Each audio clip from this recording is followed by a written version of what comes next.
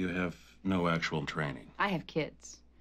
Learned a lot right there. Yeah, and I'm great with people. When I was first out of high school, I got married and had a kid too young. I'm extremely fast learner. You got a really nice office.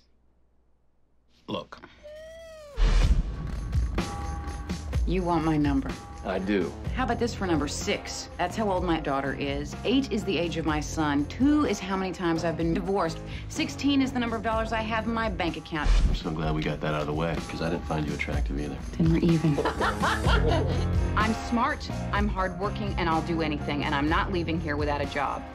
Don't make me beg. In a law firm, you may want to rethink your wardrobe a little. Well, as long as I have one ass instead of two, I'll wear what I like, if that's all right with you. You might want to rethink those ties. Why are there medical records and blood samples in real estate files? Would you mind if I investigate this a little further? What makes you think you can just walk in there and find what we need? They're called boobs, Ed. Can I just. Yeah, just. Hexavalent chromium can be very harmful. So it kills people. Oh, yeah. You're a lawyer? Hell no.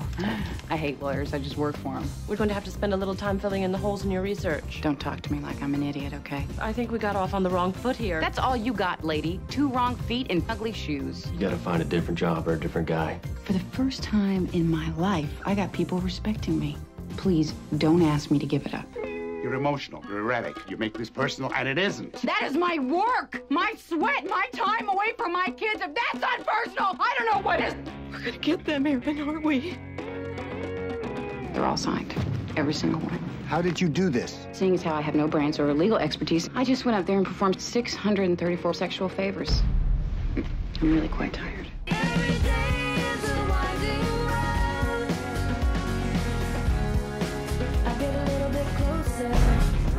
$20 million is more money than these people have ever dreamed of. These people don't dream about being rich. They dream about being able to watch their kids swim in a pool without worrying that they'll have to have a hysterectomy at the age of 20.